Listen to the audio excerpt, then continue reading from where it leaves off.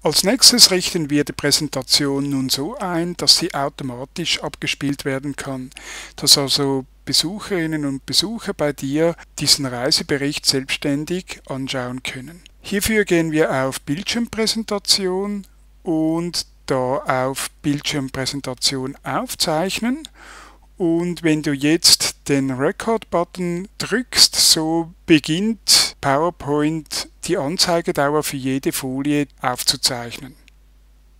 Ich mache das jetzt im Schnelldurchlauf, einfach damit man das Funktionsprinzip sieht.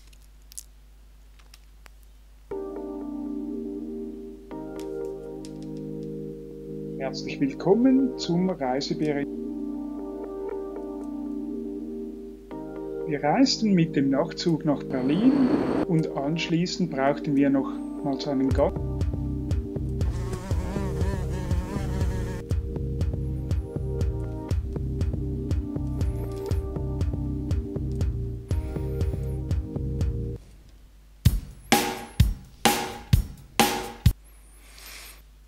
Ja, du siehst, insgesamt haben wir 31 Sekunden gebraucht, falls du jetzt für eine einzelne Folie die Aufnahmedauer noch etwas anpassen möchtest, so kannst du das erneut tun.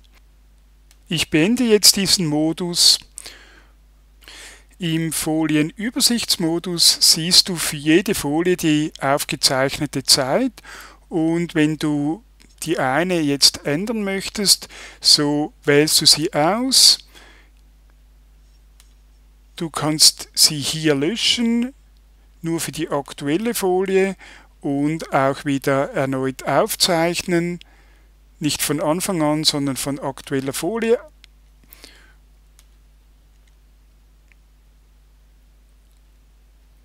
Und wenn ich die Aufzeichnung beende,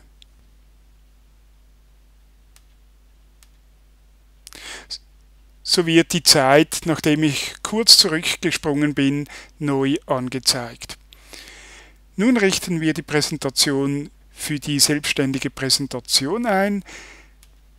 Bildschirmpräsentation einrichten, Ansicht an einem Kiosk, volle Bildschirmgröße. Die Anzeigedauer wird natürlich hier automatisch verwendet und ich klicke auf OK. Wenn ich jetzt die Präsentation starte.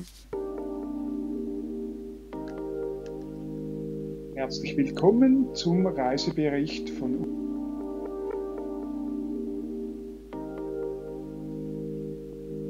Wir reisten mit dem Nachtzug nach Berlin und anschließend brauchten wir ja, das tönt jetzt natürlich ein bisschen unbeholfen, weil ich ja immer weiter geschaltet habe und insofern meine Erzählung unterbrochen habe.